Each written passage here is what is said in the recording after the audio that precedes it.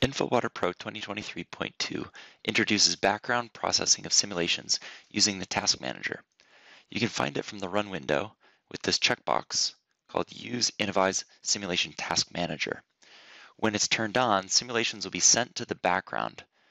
And once they are running, you can actually close this window and continue to interact with your model, your results, uh, as well as even changing data, which will then be used in the next simulation.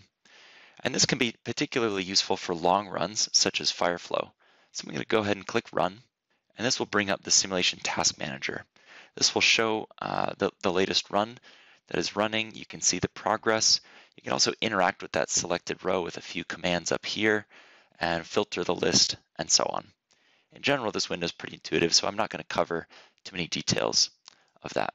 The real power of the Simulation Task Manager is when we can even run simulations without opening the run window at all. So for example, let's say I'm reviewing this model, maybe I'm calibrating it, and I'm looking at this pump and I see that this pump is, is flowing and I actually don't want it to be on. I'm gonna move this task manager actually out to a separate monitor. And let's say I wanna just close this, this pump real quick. I can close it, update it, and we now have a rerun window icon that will rerun the simulation based on whatever output you have. So right now this is a standard run. So if I click run, it will now rerun my model with the latest data. And once it's done, this icon will actually become available to load results. And charts and graphs don't refresh automatically, but once you load results and refresh, I can see that now my pump is off.